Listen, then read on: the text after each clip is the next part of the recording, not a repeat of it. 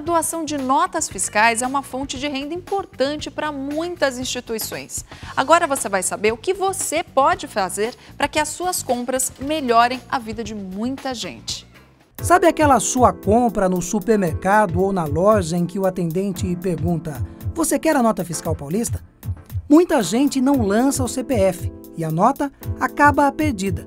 Mas aquele papelzinho que muitas vezes vai para o lixo pode ajudar muitas instituições.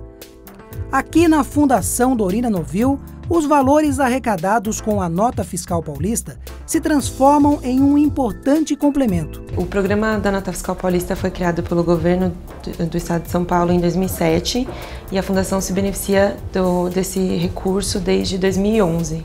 Né? Então, toda, todos os cupons que são arrecadados sem CPF, eles são digitados dentro do, da, da conta da Fundação Dorina e a verba é destinada aos projetos que a gente desenvolve em prol das pessoas com deficiência visual. Então essa renda é super importante, na verdade é uma receita livre que vem para a fundação, então a gente pode é, pagar custos administrativos, projetos que a gente tem no banco de proje projetos ainda não temos financiadores, é, manutenção e compra de equipamentos.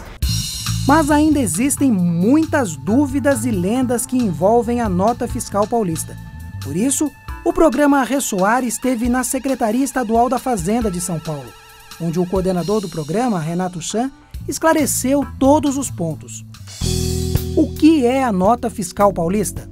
A Nota Fiscal Paulista é um programa instituído pela Secretaria da Fazenda do Estado de São Paulo, né, através da Lei 12.685 de 2007. E o objetivo do programa Nota Fiscal Paulista é permitir que o cidadão uh, possa ter de volta parte do ICMS que ele paga nas mercadorias, né, na sua, na, no seu consumo como um todo. Quais as instituições que podem receber essa doação? Hoje são, uh, são permitidas uh, apenas instituições paulistas, sem fins lucrativos, vinculadas à Secretaria da Saúde, à Secretaria uh, da Educação, à Secretaria de Desenvolvimento Social e entidades de proteção aos animais cadastradas na Secretaria da Casa Civil. Como a arrecadação chega até a instituição? Elas podem chegar de basicamente três maneiras. Tá? A primeira é a própria entidade funcionando como uma consumidora direta das mercadorias.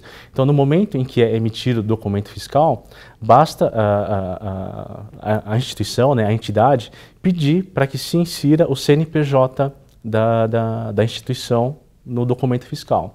Essa é uma maneira. A segunda maneira é através de doações. Tá?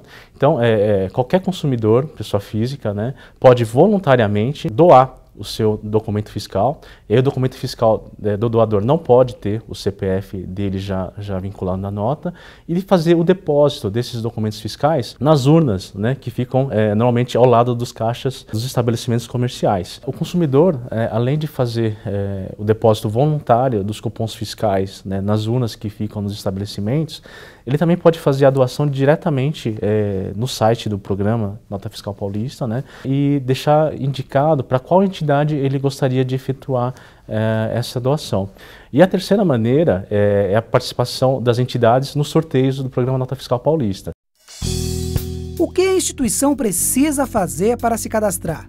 É necessário entrar no site da Secretaria da Fazenda, eh, no, voltando né, no site do programa www.nfp.fazenda.sp.gov.br e aí a, a entidade gera uma senha.